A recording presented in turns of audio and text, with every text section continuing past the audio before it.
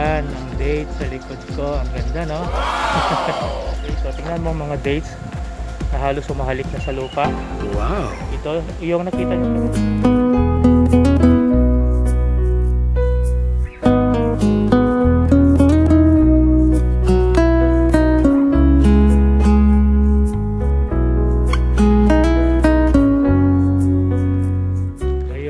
Hapon, gusto kong lumabas sa bahay. Nakaka-board, so gusto kong lumakad-lakad sa labas.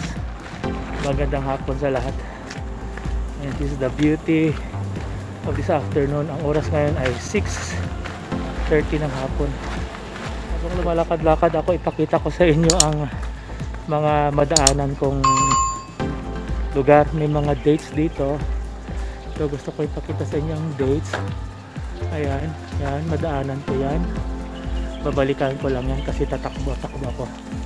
Dito ako tumatakbo, lumalakad para mag-exercise. Para makita nyo ang daan.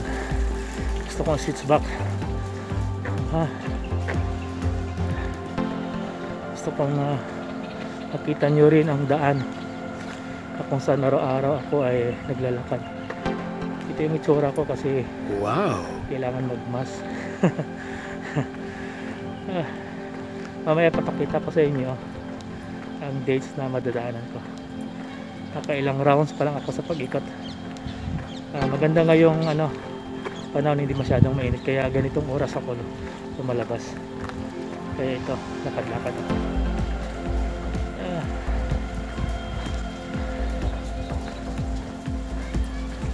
minsan na 45 minutes ako dito minsan inaabot ako ng 1 hour. Pero ngayon kasi mainit pa. Mga 45 minutes lang na lakad-lakad. Kung medyo lamig-lamig na yung panahon umaabot ako ng 1 hour or 1 and a half hour. Tumatakbo ako mamaya ipakita ko sa inyo ang mga dinadaanan kong days dito. Dito lang sa area ko sa Almacan hope you're enjoying with me sa panonood dito sa area ko lang later na lang yung mga magagarang building magagarang syudad. Kasi hindi pa ako ganong lumalabas sa ngayon. Dahil nga sa pandemic. So praise God. Lord thank you for the life. Thank you Lord for the moment that you have given to me and for my family. Regards din pala sa aking family dyan sa Pilipinas sa aking mga relatives saka sa aking mga kaibigan. So very much sa panonood maya maya ipakita ko naman sa inyo ang dates na dinadaanan ko yung sabi ko sa inyo dito sa area ko ito yung dinadaanan ko ito ko yung dates so tingnan mo mga dates na halos umahalik na sa lupa Wow. Ayan, ito ay kulay medyo may pagka red ang kulay. Ayan. Ah, ang ganda no? Siya, ang dates dito. Ayan. Napakaganda. Okay. Iba-ibang variety ng dates. Ah, meron din dito sa kabila. May isang tanim din dito na mababa na yellow ang kulay. Dito, mababa din siya. No? Yung nagba-brown pa? Ayan. Kita nyo? Uh, humahangin yan. Medyo lumalakas ang hangin ngayon. Kasi hapon na pagabi na. So, pag September kasi papalit na yung panahon yung leader. Papasok na sa September ang taglamig.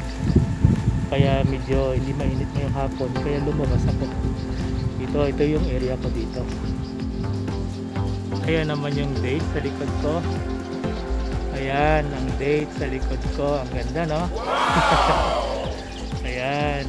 Ah, pula yung variety niya.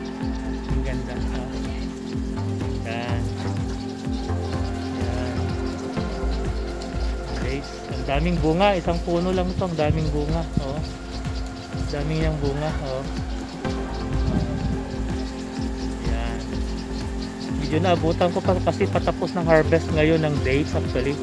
August lahat-lahat ay harvest na. So naabutan ko tong isang punong to. Ayan. Yan ang dates dito sa UAE. Maraming variety ito. Pero itong klaseng variety bago do ito. Pula ang kulay. Ah, ang galing, ang galing daming bunga oh. Wow, daming bunga oh. ah, galing. So, palis na ako doon sa dates.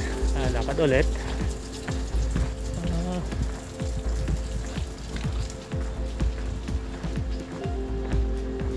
mamaya tatakbo ako.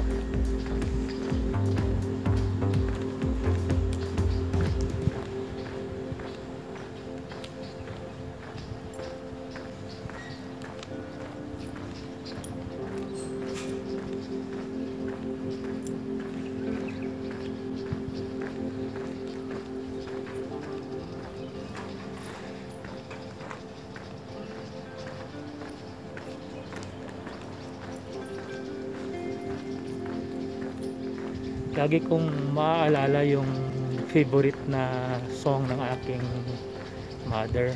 Ah, yung favorite niya na song Tagalog. Naalala ko siya lagi kasi nga lagi ko siyang napapanagamitan kanta na kay buti-buti mo Panginoon sa lahat ng oras sa bawat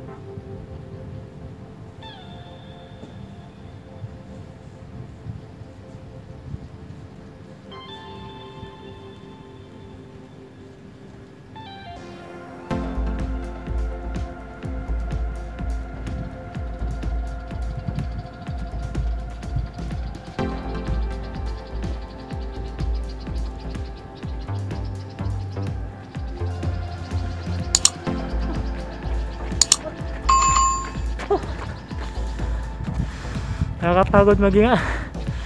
May mask kasi. Ah. Pagod tumakbo. Pag may mask ang pagod tumakbo. Ah. So, naka 45 minutes ako. So, pauwi na ako ng bahay. Ah. Grabe. Ah. Kaya ito, ito kung hapon minsan itong ginagawa ko. Lumalabas ng bahay para mag walking mag jogging pero mas maganda yung walang mask para makahinga ng maayos. So maraming salamat po sa inyong panonood. God bless. At uh, ingat po kayong laging lahat. God bless everyone